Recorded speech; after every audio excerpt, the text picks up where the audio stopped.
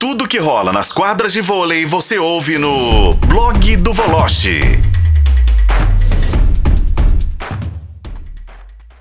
Voloche, meu caro, um abraço para você. Qual o seu destaque nesta segundona?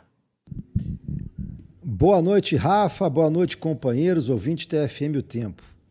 A arbitragem brasileira desmoraliza o VAR na primeira rodada do Campeonato Brasileiro. Ô, Voloche, que tristeza, né? Não sei se você acompanhou o programa desde o início.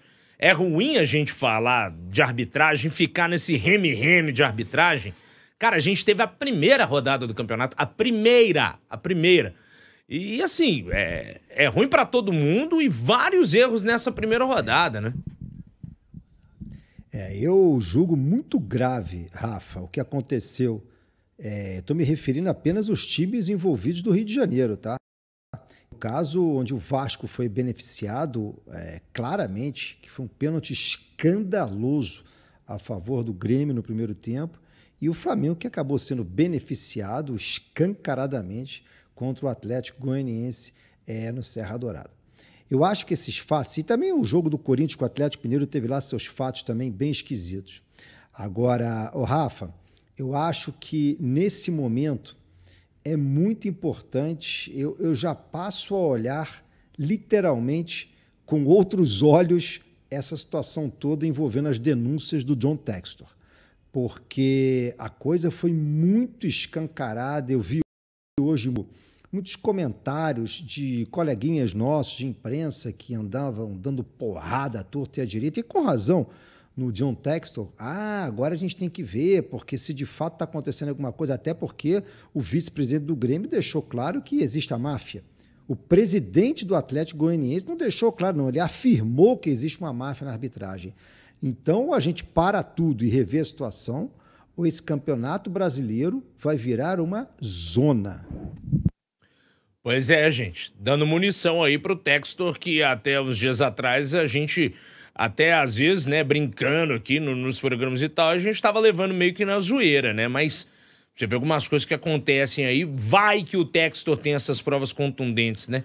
Oh, Vamos aguardar. É, eu acho assim, a arbitragem brasileira sempre foi muito ruim, muito ruim. Sempre não, né? Mas dos últimos tempos para cá, dos últimos anos para cá, e só tá piorando. A cada ano que passa a gente vê uma coisa pior. Eu acho que essa, essas denúncias do Textor aí, se ele realmente tiver alguma coisa ali na prova, na mão, o preto no branco, como a gente costuma dizer, beleza, ele pode ter a chance aí de mudar uma história do futebol brasileiro.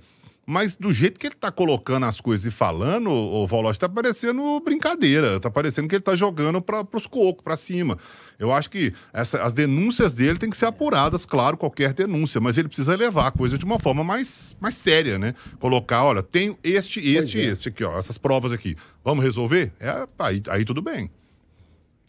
É, o Daniel, eu também é, acho que talvez ele, tiver, ele tenha sido mal orientado nessa questão toda, mas agora eu sinceramente não vejo é, vergonha ou motivo algum você mudar de opinião. Eu tinha uma opinião e agora, depois do que aconteceu nessa primeira rodada, aliás, é bom a gente enaltecer o seguinte: zero a declarar sobre Cruzeiro e Botafogo. O Cruzeiro ganhou legitimamente na bola. Aquele zagueiro do Botafogo assassino foi expulso justamente no segundo tempo. O cara entrou na maldade para quebrar, completamente desequilibrado emocionalmente. Agora, acho que o John Tex, segundo consta, já deu já a polícia já tem as provas que, segundo consta, é, existem áudios, e-mails e o tal da como é que se diz é, é, as referências, estudos e tal, que eu acho que isso aí não pode ser levado muito em consideração. Agora, e-mail e áudios, se realmente essas provas existirem, é gravíssimo. É, gente, complicado, hein? Complicado. Ô, ô falando agora do voleibol, é sexta-feira e sabadão aí de Superliga. Aliás, a Débora Elisa, nossa repórter aqui, ela saiu na calada da madruga da Arena do Minas, né? Porque tivemos de tudo e mais um pouco no Minas e Osasco, 3 a 1 pro Minas. Finalista da Superliga Feminina vai enfrentar o Praia de novo. E tivemos os jogos aí também da Superliga Masculina, né? É, a Superliga Masculina eu achei dois jogos muito bons tecnicamente, muito equilibrados, apesar de Campinas e SESI saírem em vantagem com o Darlan quebrando recorde e tudo mais, acho que as duas séries estão abertas, tanto Joinville contra SESI e Guarulhos é, e Campinas. Em relação à final Pão de Queijo, mais uma vez, eu hoje até escrevi no meu blog que é muito curioso. Eu acho que o Praia chega pelo jogo coletivo e o Minas chega pelo jogo individual, pelo talento individual da Thaisa e da Kise. Ah, mas tem outras jogadoras? Sim, mas essas jogadoras levaram o time do Minas nas costas e classificaram. Sobre os episódios, meu caro Rafa, que aconteceram lá no Minas depois do jogo, aquela treta lá toda entre a comissão técnica e os membros é, do VAR, é, eu revi várias vezes no lance. E você consegue explicar, você me ajuda a explicar? Eu não sei se eu vou conseguir fazer os ouvintes entenderem o que é frame. É, é um, uma, uma edição. Uma, é uma. Como é que chama? Você dá um é, frame, não, é um print. quadro. É um, print. É um quadro, é quadro a quadro. Isso. isso, quadro a quadro de uma filmagem. É isso. É isso. Então, a bola da Carly, da, da Central Americana, aquela China, aquela bola foi dentro. Ah, mas eu acho que não venceria o jogo, não sei. Ia ter o tie-break, enfim, mas aquela bola foi dentro. É, não sei de que maneira que o VAR enxergou, não acho que tenha sido maldade, entendeu? mas aquela bola foi dentro e aquela bola poderia ter mudado a história do confronto. Então é preciso ter muito cuidado nessa avaliação, nesse frame, passo a passo, como bem citou o Lélio, quadro a quadro, porque dá margem sim a uma dupla interpretação é muito perigoso, porque assim como os árbitros do futebol estão desmoralizando é, o VAR, no vôlei os árbitros se acomodaram desde a chegada do desafio.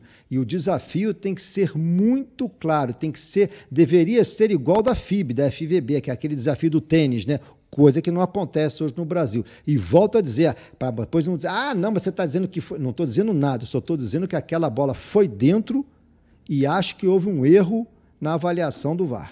Aqui, só para falar hum. rapidamente, é aquilo lá que aconteceu no final do jogo, teve uma discussão, quase que vias de fato, né? Isso no vôlei antes era normal, viu? Normal. Quantas e quantas vezes a gente é. viu que Procó aqui no, no ginásio do Minas, era no Ibirapuera, no Maracanãzinho, no Tijuca Tênis Clube, não interessava o lugar, né, Voloche? Um abraço para você. É, um abraço, Lélio. Você foi cirúrgico nas suas colocações. Quantos barracos semelhantes você já viu em Suzano? Esqueceu de Suzano. É verdade. Suzano. Naquele caldeirão, o né? comia, hein? É, entendeu? Então, assim, né, ninguém quer ver briga, ninguém quer ver confusão, mas ali Osasco estava no direito, de fato, porque foi muito estranha aquela bola. Nada paga a excelente atuação do time do Minas e foi uma semifinal espetacular. Pode ter certeza disso e no domingão teremos esse jogo aí entre Praia e Minas, não é isso mesmo? Domingo? É, mas é, é, é deprimente para mim, né, Voloche? É aquela velha história, né? Final única lá em Recife. Então, Praia e Minas jogando em Recife, beleza. É horrível isso. Concordo com você. Horrível. E tudo pode acontecer num jogo. E amanhã, companheiros, eu recebi hoje uma notícia pela manhã é, envolvendo o Flamengo, envolvendo uma determinada jogadora regalias, o grupo rachou às vésperas da semifinal. Amanhã estará tudo no ar. Show de bola. Bruno Voloche conosco direto do Rio de Janeiro. Um abraço para você, Voloche. Até amanhã. Rafa, obrigado. Boa semana aí. Saúde. Me estendi um pouquinho, desculpa, Rafa, mas é que eu queria já adiantar os fatos.